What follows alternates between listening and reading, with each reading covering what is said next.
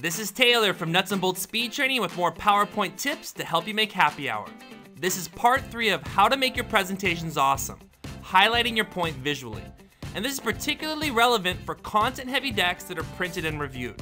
You wanna show your audience exactly what your point is so they don't have to waste time trying to figure it out.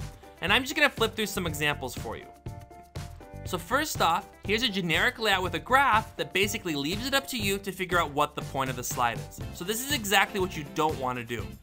So to highlight your point, you first want to start with your titles. So you can see here, the point is that we can increase company sales by over 50%, which is based on the results of our MJ marketing campaign, there in our graph, where we increased sales by over 100%. And after you establish your point in your titles, next you want to highlight the actual data points that you want people to focus on. So you could do something like this, which helps to clarify and draw people's attention to the point of your slide. And you could also continue to add highlights to your layout. So for example, you could box up the months to further highlight your point, or you could just add a call out. Either way, with just a little bit of formatting, you can take a generic looking layout that's not really useful or meaningful in any way and give your audience something that they can evaluate and discuss. And the reason that highlighting your point is so important is that you could have easily taken this same data set and highlighted a completely different point.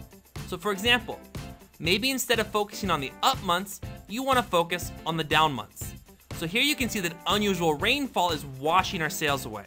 Or again, taking the same data set, maybe your point is this. Sales were growing through May, but since the June election, we've lost over $15 million in sales as consumers have become concerned about the economy. Now, neither of these layouts is right or wrong, it just depends on what your point is, which is why highlighting your point visually is so important. Now, here's another example of something that I see all the time a layout where everything is highlighted. And here I want to point out that if everything is important, nothing is important. So you're better off not highlighting anything. Now, if this was your slide and you wanted to highlight advantage number four there in the lower right hand corner, you could simply change the color of the title box, which brings your eye to that box, or you could dim the font color of all the other boxes, which again, brings advantage number four to the spotlight. And here's one last example. Again, a fairly generic layout with nothing for the audience to really focus on.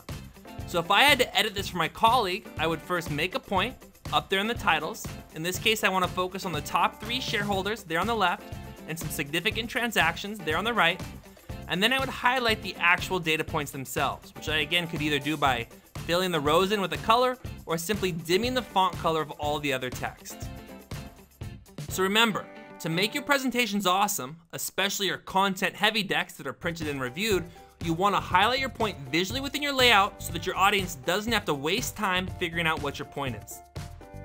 If you're looking for more strategies and tips to help you save time in PowerPoint, make sure to check out our website and subscribe. This is Taylor from Nuts and Bolts Speed Training, and I'll see you at happy hour.